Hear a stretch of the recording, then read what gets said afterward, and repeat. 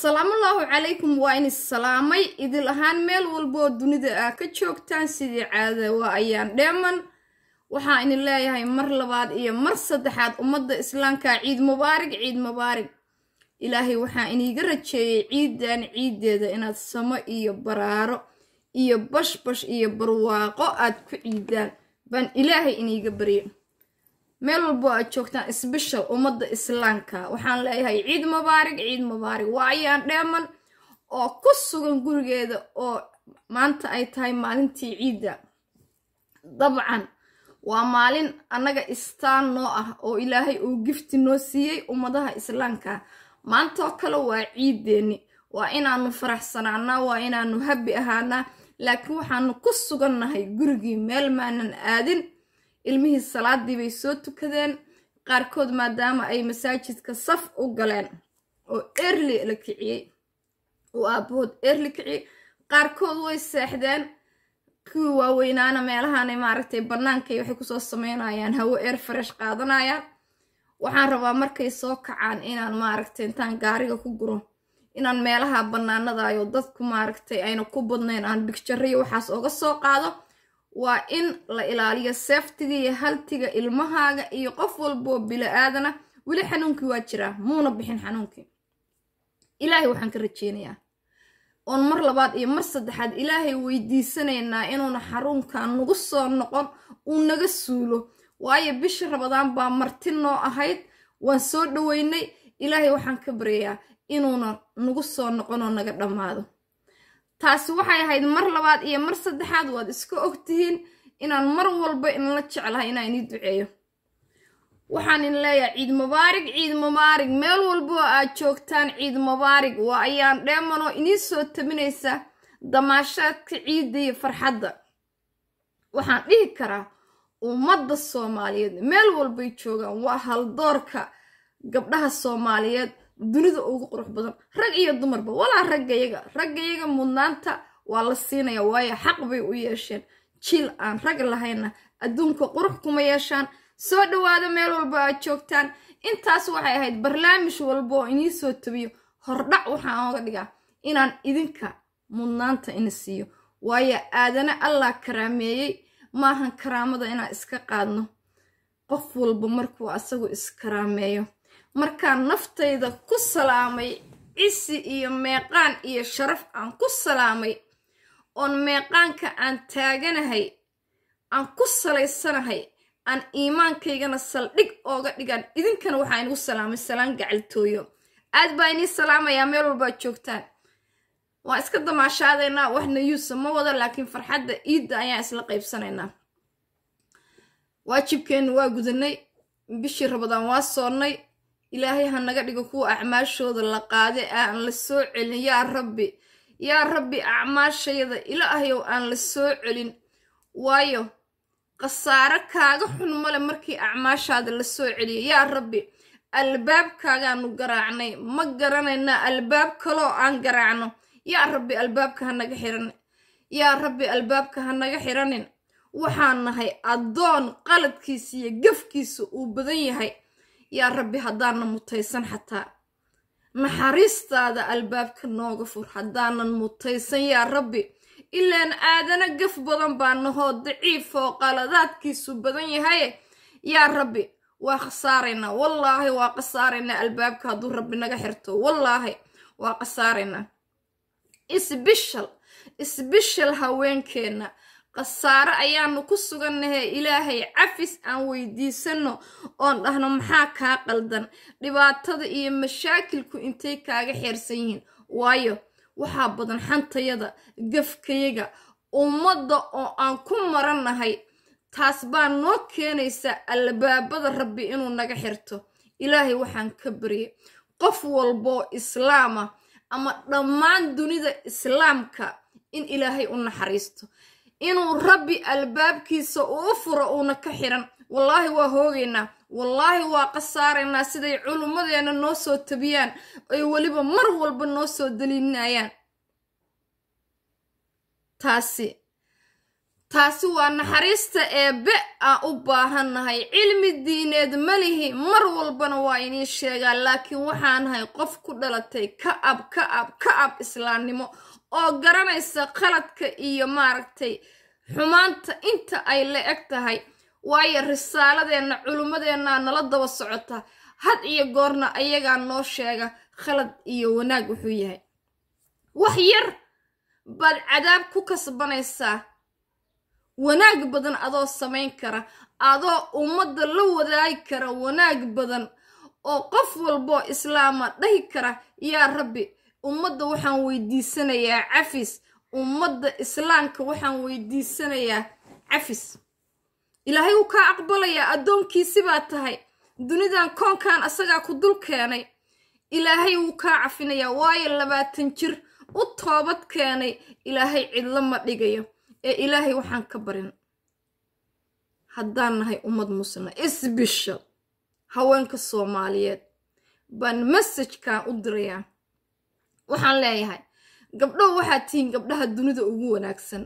Waxaad tihiin markay dagaalada sokeeye ayna aafeeyeen gabdhihii dalka samabixiyaad tihiin.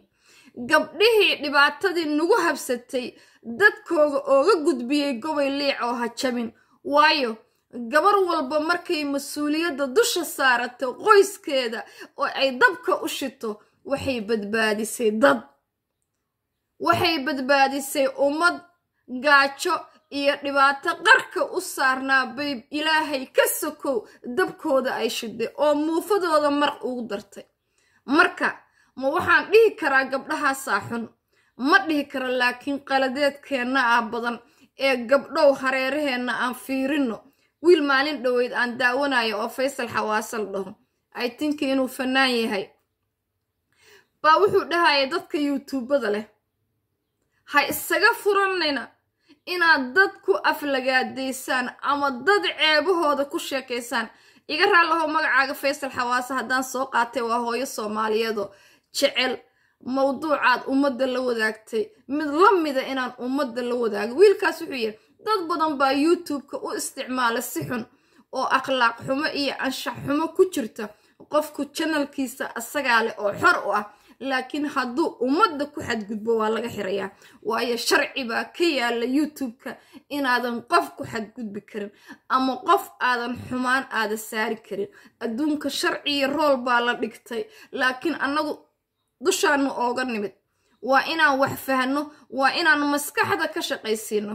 Dhammaanteen haddaan isku afgarano taas hubaashii waxaan gaaraynaa liibaan.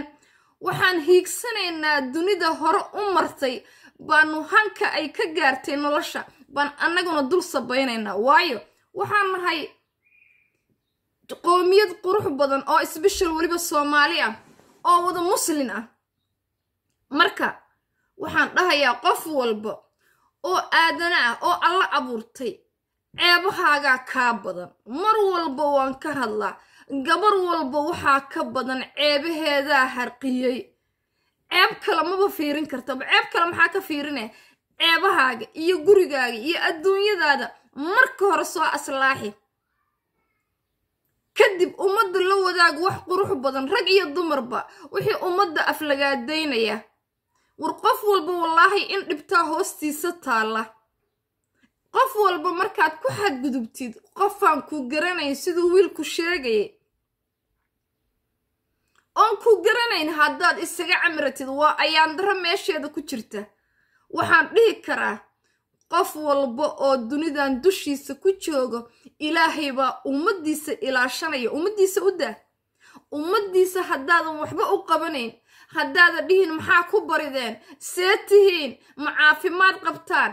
Adduunyada ka warrama xaalku waa sidaa haddaadan dhihi karin walaalkayga muslimka ahow ama walaalkayga soomaaliyadow ama walaashayda quruxda badaney ceebahaaga dib u fiiri. Ha ku dhiiran ceeb gabar kale ha ku dhiiran hooyo soomaaliyeed xadgudubkeed hana ku dhiiran wiil soomaaliyeed ama aabbo soomaaliyeed. Oo saa u xagatid saa u xagatid maya maya taas ayaan kaaga digayaa khatartaas.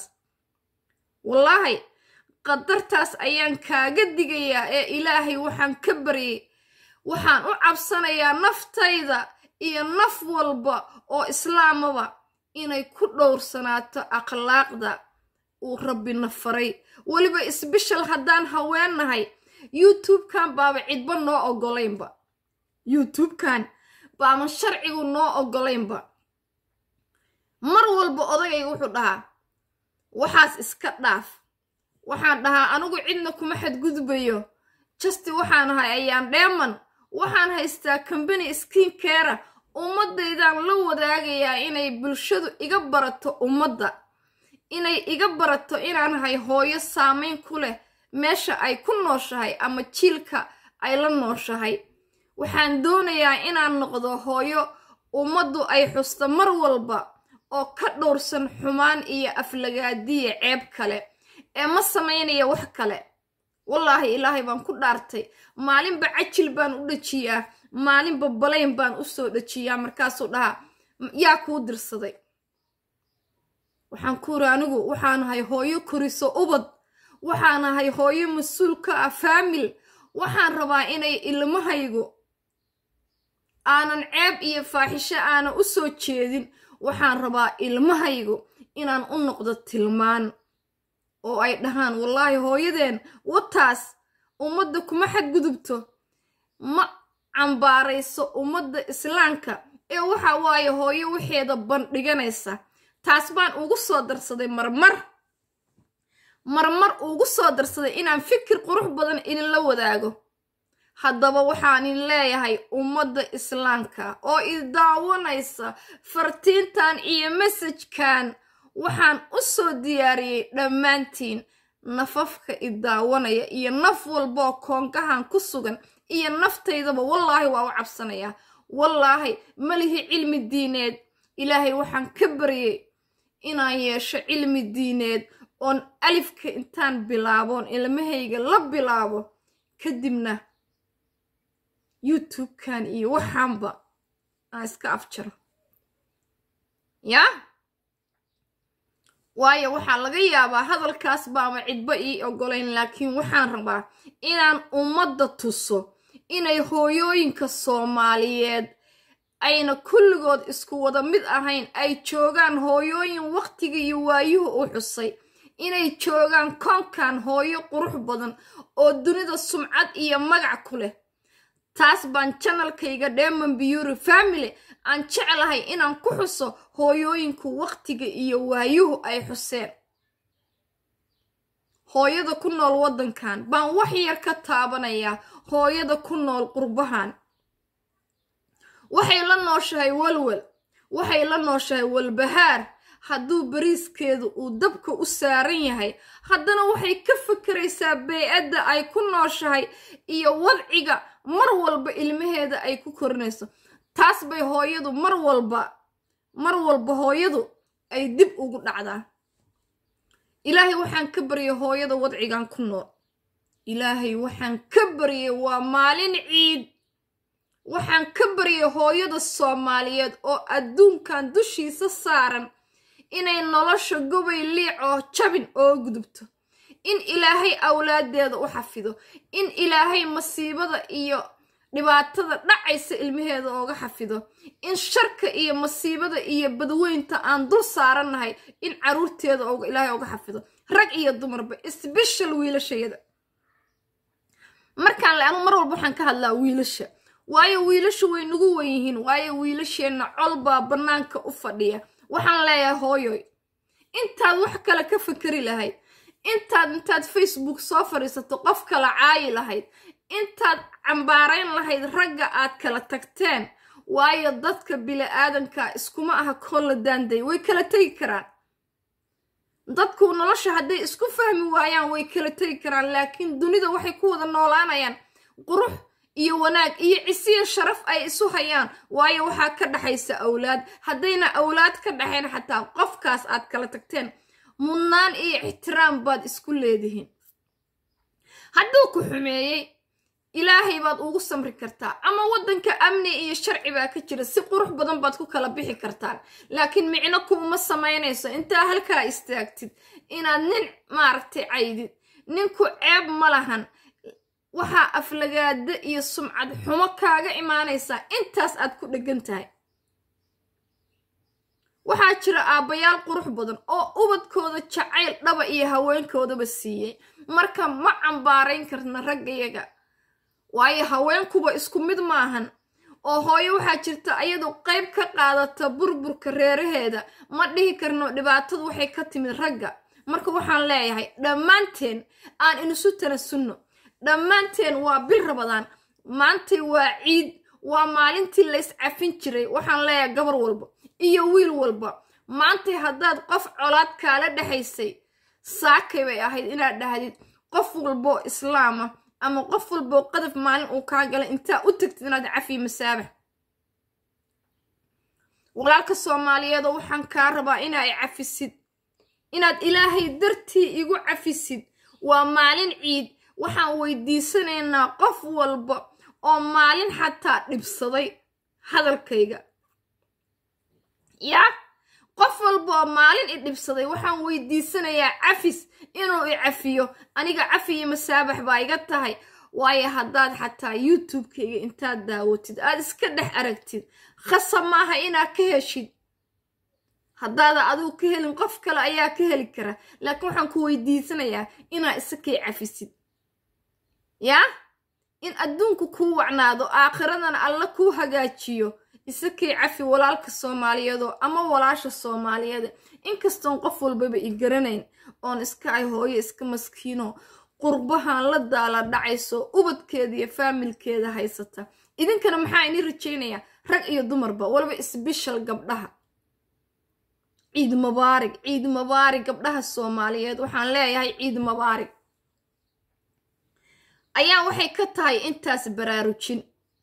Waxay ka tahay waxtar waxay ka tahay fursad aan ku kala faa'iiday waayo elarji qof uu kuu soo bixiyey waa qof jacaylkaaga raba waa qof wanaagaaga raba waa qof noloshaada inay qurux badnaato raba. Waayo anigu qofaan i garanayn iyo qof kaleba waaba iska ammaanaaba waaba isaga duceeyaaba. Waayo maxay ii tarin qof bila aadan aan ku xadgudbo? Waxba iima tarayso aakhiradeeda iseejinaysaa dhammaanteenna saas aan ka wada mid noqonno dhammaanteen aan hal mid ka wada noqonno mabda'a aragti oo aan ku arkayno qofka dheer iyo qofka dhow. Dhammaanteen aan ka midowno mabda'a islaamnimo dhammaanteen aan mid ka noqonno mabda'a aragtida noo dhaxaysa qofka kaa fog iyo qofkaa dheer. Waayo waxaa laga yaabaa qof aadan garanayn. Hadduu qofku weydiiyo tusaale ahaan uu ku dhaho abbaayay kareenkan baan soo iibsaday ma fiican yahay? Adigoo qofkii ama xasidnimo ay kaa tahay. Baa waxaad dhahaysaa ma aqaani anu waxa la soo qasqasiyo qurumada ma fiirsho maya ha dhihin taas waxaad dhahdaa walaashaya ma iibsan laakiin dadku way ammaanayeen. Ma aanan iibsan laakiin dadku way ammaanayeen. Waa matalan boodhi kareenkaas oo kale. Waa tusaale ahaan waa qayb noloshaada qurxinaysa wanaagga walaashaydii aniga ma jijaabin laakiin kareenkan waa la ammaanayay. Adigu waxaad ku helaysaa wanaag badan aakhiradaadana saldhig baad u yeeshay. Xadgudub iyo waxaas kuuma imaanay. Marka aad baan inii salaamayaa meel walbo aad joogtaan waxaan daadihinayay barnaamijka iidda inaan dhaho ciid mubaarig ciid mubaarig inaan dhaho walaalaha soomaaliyeed. Waa hooyo soomaaliyeed oo dunidan isaga noolo mar walba fartiin gacaltooye kuu wada. Haddaba waxaa idin leeyahay adduunyadu hee ha inii wacnaato. Aakhiradana allaha noo hagaajiyo. Idinkii annaga maanta waa maalin ciid waa maalinta la iscarfin jiray. Waaw. Yaa waa maalinta ilaahay soo dejiyey inaan iscarfino waayo barafuunkoo kale markaa ismarisid bannaanka oo lama bixi kartid. Waqtiyada salaada aad tukanaysaa lagugu talagalay. Inaad soo labisatid. Inaad maaragtay xamuurad marsatid. Inaad indhakuul marsatid. Hadda anagu mayka maana marsanba. Muxuu ahaa salaada markaad tusbaxaaga iyo salligaaga iyo diraca kuugu qurux badan intaad soo qaadatid baad barfuun isku shubi kartaa. Waa markay diintaasee nafarta. Laakiin annaga maya intuu saarnaa kadibna de waxaa isardee waa maalinta tusaale ahaan waxay u tahay maantaoo kale waa maalinta udug iyo carafta. Dhammaantiin maxaa ina leeyahay? Dhammaantiin maxaa ina leeyahay? Meel walbo aad joogtaan. Horta hilmaan hadal kuma jiro waxaan inta messajka ooga dirayaa. Gabdhaha quruxda badan oo janalkayga daawada. Gabdha xataa hindiya way ii saskaraab gareeyeen. Aad baa inii salaamaya. Anigu janalkan waxaan u soo galay. Ama aan u samaystay inaan ku bandhigo brodhactigayga dheman beauty skin care haddaan saskaraab gala alxamdulilah haddaana helin rabbil caalamiin. Waayo wax shaqo iima ahan hooyaan ahay guri iska joogta ilmaheeda korsanaysa. Home stay gurigan joogaa nacam haddaan rabo inaan saskaraab badan helo. Ummadda maaragtay dadaa waxay dheheen maalin dhawood dadka haddaad qabiilada ka sheekaysid aad dadka caydid saskaraab ma raba cay aan ku helayo. Saskaraab aan ku waayo wanaag. Halkaa iga joog. Saskaraab aan ku waayo wanaag iyo dadnimo islaamnimo iyo shaqsinimo gabar soomaaliyeed aan ku waayey. Cay iyo qabiilo maaragtay halkaa ha iga ahaadaan waxaan maanta hambalyo dhahayaa. Ummadda islaamka oo ku sugan dalkeenna waxaan leeyahay ciid mubaarig ciid mubaarig waxaan leeyahay ummadda dalkooda nabad ka dhigtay oo saldhig nabaaddiino u yeelay waxaan leeyahay guul iyo gobonnimaa inii rajeeye waxaan leeyahay ummadda soomaaliyeed oo masiibada iyo qaraxa uu ku habsanayo. Waxaan leeyahay murugada waa idinla qabnaa raalli kama nihin in maalin walba madfac aynagu dhaco. Wallaahi raalli kama nihin. Ee nasiib darrada ayay qeyb ka noqotay in maalin walba madfac aynagu dul dhaco. Waxba inima dhaanno waxaan haysanaa nabad dad baa nabad iyo dastuur dhigtay oo waddankooda nabad ku naaloonaya. For example oo kale markaad baabuur wadid oo forway aad tagtid istabta waa istaagaysaa askari kuma arkayo qofna kuma joojin laakiin calaamadda ayaa ku istaajinaysa. Waayo waxaad ku qasban tahay ruulka dadka ay dhigteen inaa u hoggaansanaatid. Maxaa dhacaya haddaa iska dhaaftid.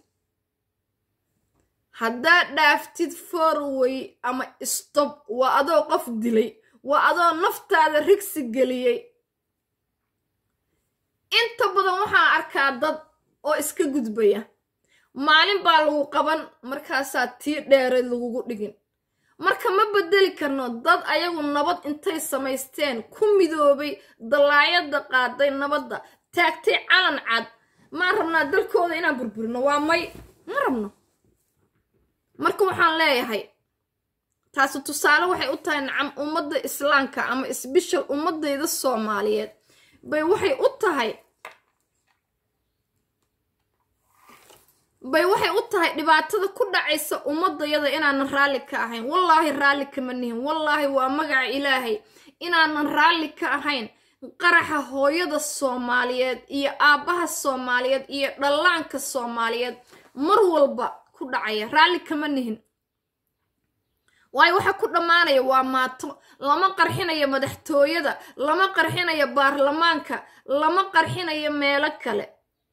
Ee waxaa dhimanaya waa dhallaanka soomaaliyeed iyo hooyada soomaaliyeed iyo aabbaha soomaaliyeed. Hooyo yaanyo iska gadanaysa ilmaheeda canjeero u dubata saakay oo nus doolar wax ka yar maalintii raadinaysa. Ah sasa tiifaan qaa mar walba ayna dhahaa soo ma wejiga ay cuncunaaya. Marka wallaahi raalli kamani waa maalin ciid ilaahay waxaan ka baryay ummadda soomaaliyeed oo qarxu ku dhacaya anigu horaan u sheegay waxaa idhi hooyaday ninkii guursada waa adeerkay. Ay dhoonkeer soomaaliya maaragtay siyaasadaas iyo waxaas kama hadlayo. Waayo shaqo ii taal maaha ilmahayga iyo gurigayga ayaa i quseeya iyo ummadda soomaaliyeed iyo rayidka ay quseeya shaqaday maaha. Inaan dowlad iyo waxaas ka hadlaayo dhoonkeer maxaa iga galay? Maxaa iga galay? Waa inaan hawsha la ii dirsada qabto ee waxaan ka hadlayaa maaragtay ummadda dhammaanaysa oo qaraxa uu ku dhacayo. Baan leeyahay waa maalin ciid. Ilaahay waxaan ka baryay qarax dambe inuuna ka dhicin. Ilaahay waxaan ka baryay inayna ilmo dambe oo masaakiina ayna dhiman. Ilaahay waxaan ka baryay in hooyada u geeriyoonaysa dhiigbax oo madfac lagu dhufanayo in ilaahay masiibada uu ka saaro. Taasaan ilaahay ooga baryay. Waxaan leeyahay dadka soomaaliyeed oo nabadda samaystay oo waddankooda uuna dhiig ka dhacayn waxaan leeyahay hambalyo hambalyo waxaan aad ugu hambalyeynayaa gobollada somalilan waxaan leeyahay somalilan waxay ku tillaabsatay nabad lagu daashoodo. Ayay ku tillaabsatay. Waxaan dhihi karaa waxaan dhihi karaa waxay buuxiyeen sharuudihii dowladnimo. Waxay buuxiyeen sharuudihii dastuurada caalamku ay dhigteen. Marka waxaan leeyahay hambalyo hambalyo maadaama iyotiin may ay ahayd aytiin may ay rabadaan ahayd baan waxaan leeyahay aanan ka qayb qaadan aanan hambalyo dhihin inaan maantoo ciida aan dhaho. Aad baan u hambalyeynayaa aytiin may. Waxaan leeyahay aytiin may waa maalin ku xusan ummadda somalilanna u ah maalin istaan gaara ay ku faanaan oo ooga duwan maalmaha kale. Waxaan leeyahay aytiin may.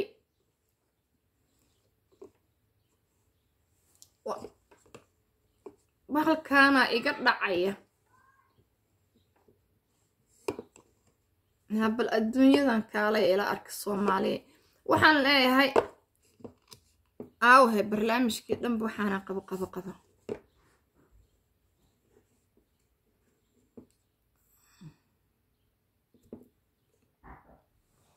Waxaan leeyahay it may hambalyo hambalyo ilaahay waxaan ka baryay itiina may kale oo maaragtay maalmaha aan ku xasuusanno iyo sanadka kale in nabad iyo barwaaqo uu ilaahay nagu gaarsiiyo. Aad baan ugu hambalyeynayaa somalilan waxaan leeyahay itiin may afkaa xirnaa fursadna ma helin aan ku dhaho itiin may ha guulaysato. Waayo waa maalin qarannimada iyo istaanta somalilan ku xusan oo aan dhihi karno ha guulaysato itiin may. Shicibka reer somalilanna waxaan leeyahay ilaahay nabadiinna ilaahay nabadiinna haynii bulaaliyo ilaahay nabadiinna ilaashada oo sidii maaragtay kobro dusha ha laga ilaaliyo nabadda yuuna somalilan dhiig ku daadan waayo dhiig bila aadan faa'iida ma lahan. Aad baa inii salaamayaa ummadda somalilan taasi waxay ahayd kaalintii iiga aadanayd inaan ka qayb qaato itiin may oo maantoo ciida fursad aan u helay inaan ummadayda aan itiin may dhaho.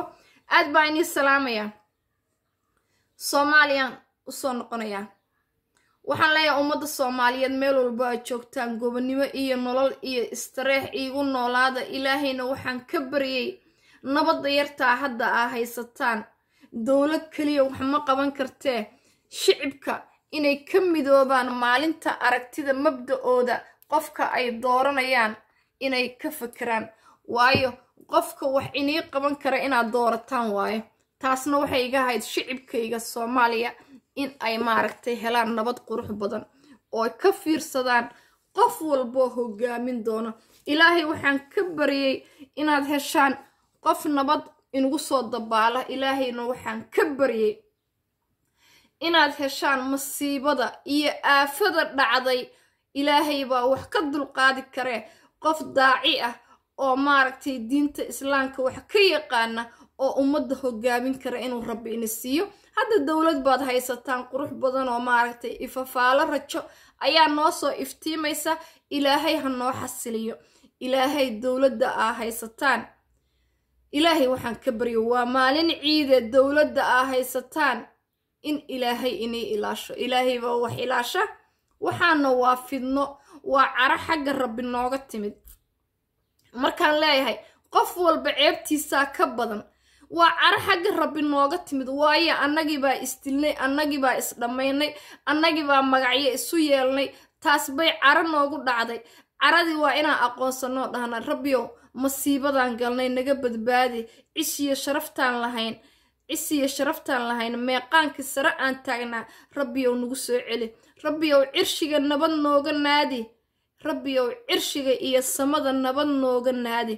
Rabbiyow carada nagu dhacday cafiskeeda nasii waxaan nahay qoomiyad dagaal uu aafeeyey.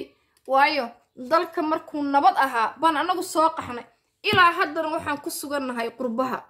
Waxaa idhibaya waxaa idhibaya geedkaanaa idhibay marka waxaan dhihi karaa wuu idhibay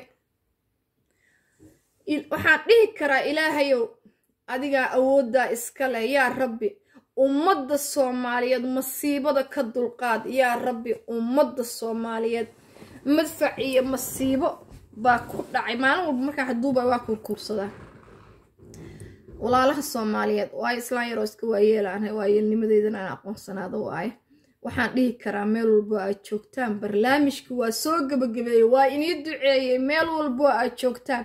Haddaba waxaad ka daawanaysaan barnaamijkan janalka demon beauty skincare. Waxaa idin leeyahay guul iyo gobonnimoa iniga tegay. Meel walbo aad joogtaan. Ciid mubaarig ciid mubaarig janalka haddaa aragtaana wax inii sheegaya ma lahan.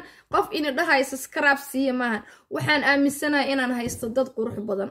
Laba iyo saddexba ha ii ahaadeena waa ku qanacsanahay. Aad baa inii salaamaya. Meel walbo aad joogtaan. Waxaa inigu ogay taqwada ilaahay iyo inaan isku boorino. Wax walboo wanaaga. Xumaantana ilaahay ha naga reebo caqliga iyo maskaxda iyo fikirkana aan ka shaqaysiino. Waayo hooyooyin baa nahay hooyada ayaa wax bedesha soo ma ogdid haddii jiil in la bedelo rabo qofka kow oo wax bedelaya waa hooyo qofka labaadna waa bulshada iyo dhallinyarada. Soo ma ogid intaas? Tusaale ahaan markii maaragtay sboorti la sameynayo waa maaragtay dhallinyarada dhan way isdhexgelaysaa. Kadib way isgaranayaan waxay ka midoobayaan mabdaca ciyaarta ama banooniga ay dheelayaan haddaba qofka wax bedela first waa hooyada kadibna waa dhallinyarada haddaba dhallinyarada aan maaragta ugu baaqna in ilaahay mideeyo walaalo isjecel qalbigooda naxariis iyo galgacal isugu haya waayo annagu hooyooyin baan nahayn ducada iyo wanaagga aan la daba taagnaano maxaa iniiga tegayaa? Taqwada ilaahay. Meel walba aad joogtaan waxaan leeyahay maasha allah maasha allah